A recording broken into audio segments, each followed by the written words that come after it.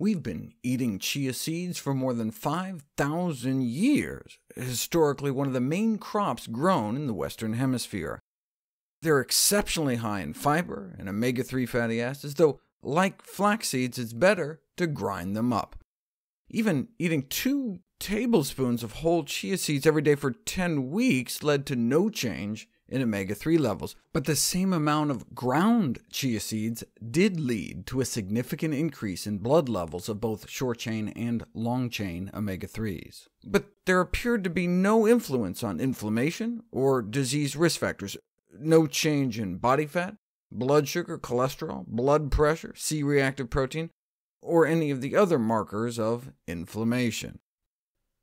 An earlier study had purported to show a significant reduction in C-reactive protein levels, an indicator of systemic inflammation, compared to control.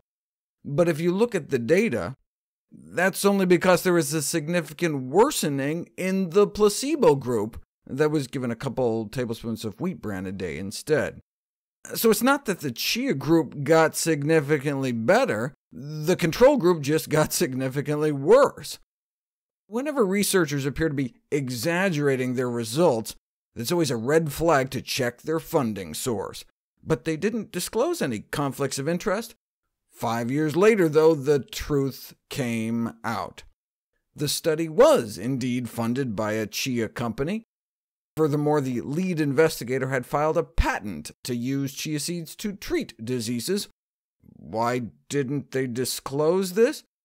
Because the journal's conflict of interest policy evidently didn't specifically require the disclosure of such information.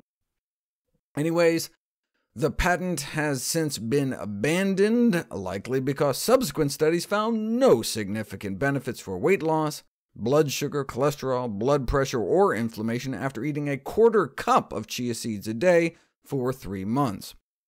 The original study did show a significant drop in blood pressure, which was replicated by other researchers, though not as potent in effect as ground flaxseed.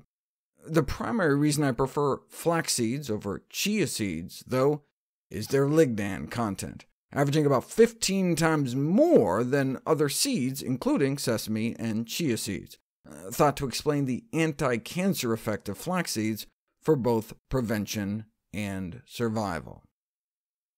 Chia seeds are certainly better than eggs and oil, though.